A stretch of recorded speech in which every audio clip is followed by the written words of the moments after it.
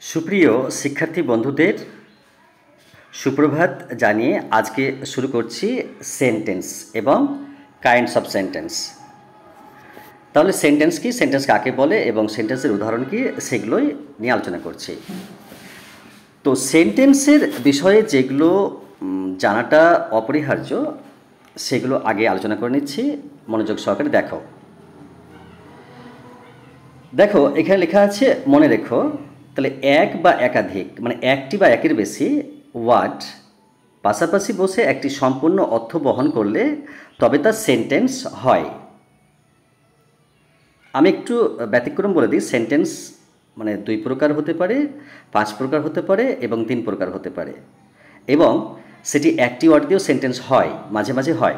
ওকে সেগুলো বিষয়ে আলোচনা হবে। এবার দেখো, নাম্বার টু বলছি যে ভার্ব বা ক্রিয়াপদ ছাড়া কোনো সেন্টেন্স তৈরি হয় না। তাহলে ভার্ব জানতে গেলে অবশ্যই পার্টস অফ স্পিচ জানতে হবে। তবে আমরা সেন্টেন্সের বিষয়ে জানতে পারব। এবার দেখো নাম্বার থ্রি প্রতিটি সেন্টেন্স এর প্রথমে লেটারটি অবশ্যই ক্যাপিটাল লেটার হতে হবে। তাহলে প্রথমে আমি জানলাম সেন্টেন্স তারপরে লেটারটি আগে জানতে হয়েছে কাকে লেটার বলে বা ক্যাপিটাল লেটার কাকে বলে, অবশ্যই জানতে হবে। তারপর দেখো ফোর মানে চার। প্রতিটি সেন্টেন্সের শেষে full stop question mark exclamation মানে ফুল স্টপ মানে যেটা বাক্যে সিম্পল সেন্টেন্সে ব্যবহার করা হয়, সেটিকে ফুল স্টপ বলে। আর কোয়েশ্চেন মার্ক হচ্ছে যেটা জিজ্ঞাসা চিহ্ন করা হয়, সেটিকে বলে। আর এক্সক্লামেশন যেটা ইচ্ছাকৃত বাক্য বা আবেগসূচক বাক্য, সেই সব বিষয়ে ব্যবহার করা হয়। তাহলে পার্টস অফ স্পিচ এর বিষয়টি অবশ্যই জানতে হবে। গ্রামারের যে পাঁচটি ধাপ আছে, তার মধ্যে একটি কিন্তু গুরুত্বপূর্ণ বিষয় হচ্ছে পাংচুয়েশন মার্ক। ওকে, আসছি পাঁচ নম্বরে। প্রতিটি সেন্টেন্সে কমপক্ষে একটি নমিনেটিভ ভার্ব এবং একটি অবজেক্ট অবশ্যই থাকতে হবে। তাহলে কেজ কয় প্রকার আছে? চার প্রকার। তাহলে ভার কয় প্রকার? দুই প্রকার। এবং অবজেক্ট সাবজেক্ট অবজেক্ট বা কর্ম যেটাকে বলা থাকে, সেই সব বিষয়ে ভালো করে ধারণা থাকতে হবে। এবার দেখে নিই সেন্টেন্স কাকে বলে, কয় প্রকার?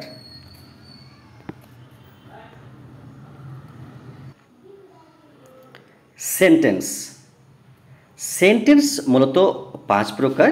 আমি আগেই বলেছি অ্যাসার্টিভ ইম্পারেটিভ ইন্টারগেটিভ বা ইন্টারোগেটিভ অপটেটিভ এক্সক্লামেটরি। তাহলে এই পাঁচ প্রকারের সেন্টেন্স। সেন্টেন্সকে মেনলি দুই ভাগে ভাগ করা হয়, যেটা অ্যাকর্ডিং টু মিনিং আর অ্যাকর্ডিং টু স্ট্রাকচার সেগুলো উঁচু ক্লাসে কথা হবে ওকে তাহলে এবার দেখো নাম্বার ওয়ান মানে অ্যাসার্টিভ সেন্টেন্স দেখা যায় কাকে বলে, এর ডেফিনেশনটা কি দেখে নিই, বা স্ট্রাকচার দেখো অ্যাসার্টিভ সেন্টেন্স এখানে যে লেখা আছে, তাহলে এর ডেফিনেশনটা কি? আমি একটু রিমুভ করি। যে অ্যাসার্টিভ সেন্টেন্স মানে এর ডেফিনেশনটা মানে খুব মনোযোগ সহকারে দেখতে হবে এবং স্মরণ রাখতে হবে যে আমরা যে সমস্ত বাক্যের মাধ্যমে কোনো চিরসত্য বক্তব্য বা বিবৃতিসূচক কোনো ভাব প্রকাশ করে থাকি তাকে অ্যাসার্টিভ সেন্টেন্স বলে। এবার উদাহরণগুলো দেখো।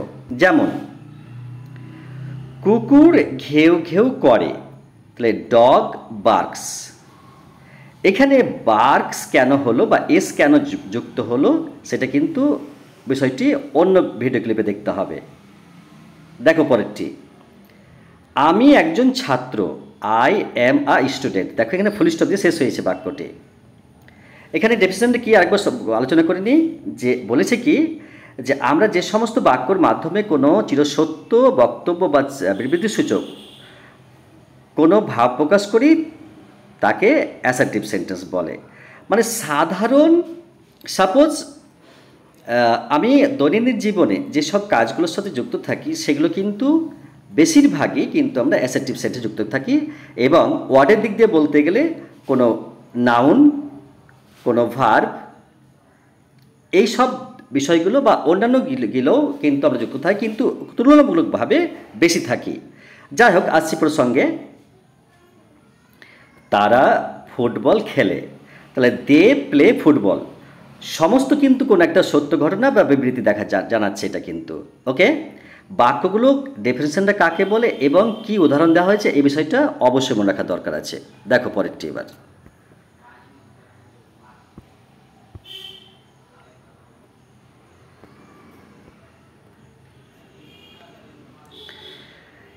ইন্টারগেটিভ সেন্টেন্স বা ইন্টারোগেটিভ সেন্টেন্স দুই প্রকার উচ্চারণ করা যায়। আমরা কোনো বাক্যের মাধ্যমে যখন কিছু জানাই, ইচ্ছা প্রকাশ করি, তখন তাকে বলা হয় ইন্টারগেটিভ সেন্টেন্স বা প্রশ্নবোধক বাক্য। যেমন, সে কি ছাত্র? তাহলে ইজ হি আ স্টুডেন্ট শেষে কিন্তু কোয়েশ্চেন মার্ক দেখো ভার্বটি প্রথম বসেছে, কিন্তু শেষে বসেছে কোয়েশ্চেন মার্ক এটা সিম্পল সেন্টেন্স থেকে ইন্টারগ্রেটিভ সেন্টেন্স করা হয়। তারপরে দেখো, তোমরা, তোমার কি কলম আছে?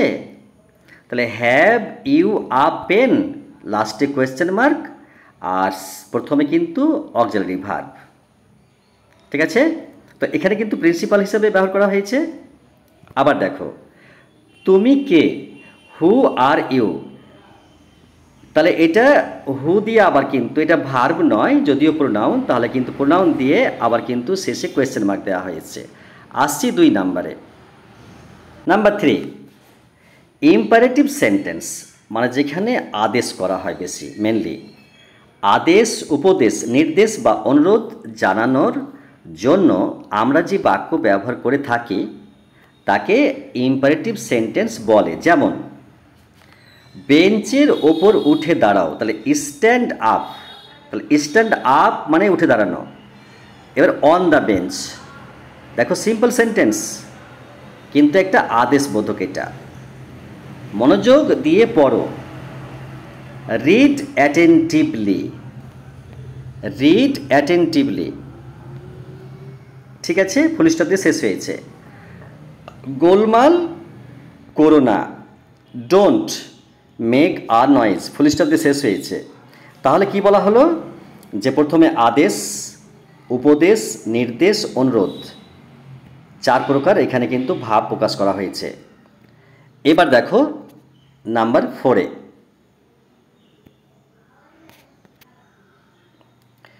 অপটেটিভ মানে যেটা ইচ্ছাকৃত বাক্য যেটাকে বলা হয়। আমরা যখন মনের কোনো কামনা, বাসনা, প্রার্থনা ইত্যাদি প্রকাশ করে বাক্যে ব্যবহার করি, তখন তাকে ইচ্ছামূলক বাক্য বা অপটেটিভ সেন্টেন্স বলে, যেমন, ঈশ্বর তোমার মঙ্গল করুন, মে গড ব্লেস ইউ। আমাদের মুখ্যমন্ত্রী দীর্ঘজীবী হন। Long live our chief minister.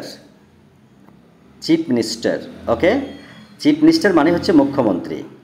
R long মানে দীর্ঘ বা লম্বা, আর লিভ মানে বাস করা বা জীবিত থাকা আওয়ার মানে আমাদের। এবার দেখো লাস্টে তোমার জয় হোক, তাহলে মে ইউ ওয়েন মানে উইন মানে জেতা, আর মে একটি বাক্য শুরু করতে একটা, এটি একটা মডেল অক্সিলারি ভার্ব ওকে তো মে মানে পাড়া আসছি লাস্টে নাম্বার ফাইভে দেখো মনের আনন্দ, দুঃখ, ভয়, হতাশা ইত্যাদি প্রকাশ করতে আমরা যে বাক্য ব্যবহার করি, তাকে এক্সক্লামেটরি সেন্টেন্স বলে। যেমন, কি সুন্দর দৃশ্য হোয়াট আ বিউটিফুল সাইট দেখো হোয়াট আ বিউটিফুল সাইট সেন্টেন্সগুলো যেন পড়তে পড়তে মুখস্থ হয়ে যায়। এবং ডেফিনেশনগুলো আমি আরও একবার রিমাইন্ড করিয়ে দিলাম তোমরাকে। এবং আমি আমার একটা ইচ্ছা প্রকাশ করি যে সেন্টেন্সকে টেন্সের মেরুদণ্ড বলা হয়, ভার্বকে সেন্টেন্সের মেরুদণ্ড বলা হয় এবং